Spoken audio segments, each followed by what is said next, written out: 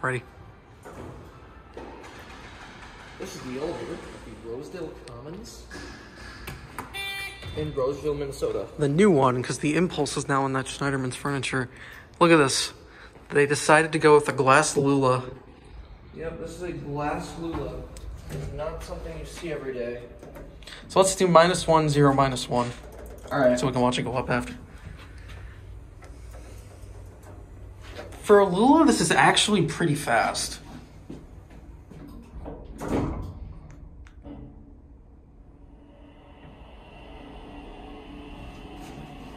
That's where we're going. We'll get my cab view now, get that over with. It's basic, but I like the glass. Your SEES probably. SEES fixtures.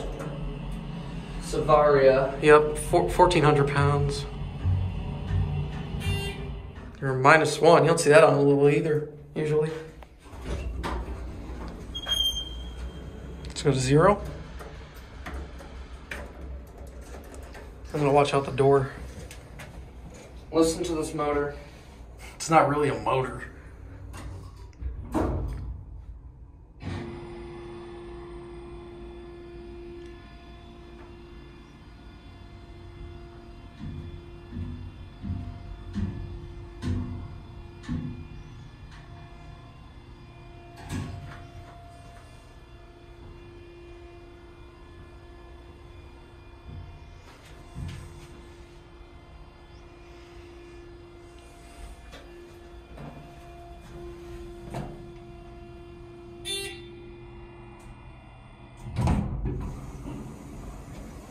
Huge thanks to Duncan for telling me about this one. Oh, real?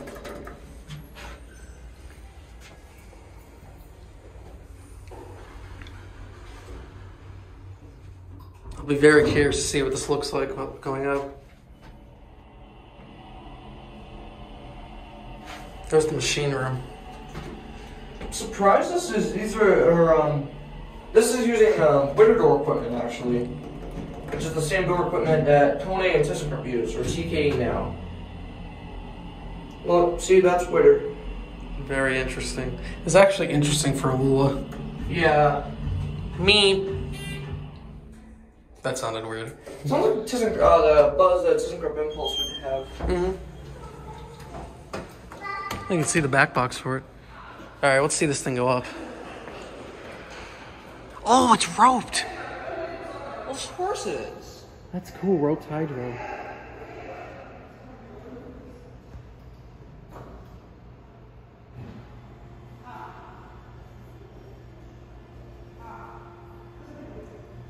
That's actually really interesting. There's like no space in the pit. It doesn't need it. That's probably why they installed this. Yeah. That's so interesting. God, you scared me. I thought you were over there. Yeah, that is interesting. All right, that's gonna be it.